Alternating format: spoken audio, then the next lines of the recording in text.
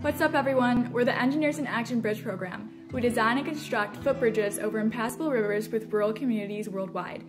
We do this in order to strive for a world with equal opportunity, and we've been building footbridges since 2016. We have one each in Guatemala and Panama, and we have two in Bolivia, and as of this video, we have one virtual bridge in Eswatini. During our weekly general meetings throughout the semester, we have civil engineering company info talks, technical and cultural workshops, and fundraiser and social brainstorming sessions. In addition to training for the build, we fundraise the entire cost of the bridge through community fundraisers outside of our meetings throughout the year. We love getting creative with raising money. Like in the past, we've sold cotton candy on the quad, we volunteered at Memorial Stadium, and we've sold TikToks on demand to our social media friends. Bring us your wildest fundraising idea and we'll try to make it happen. We're all about thinking outside of the box. This is our project timeline.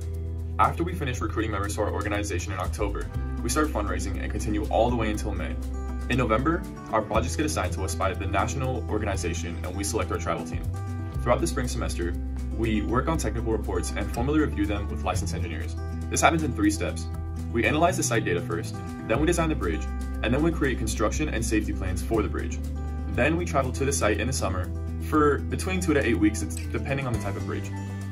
What's unique about our projects is that we're involved from the concept all the way to implementation, which is rare in the civil engineering industry.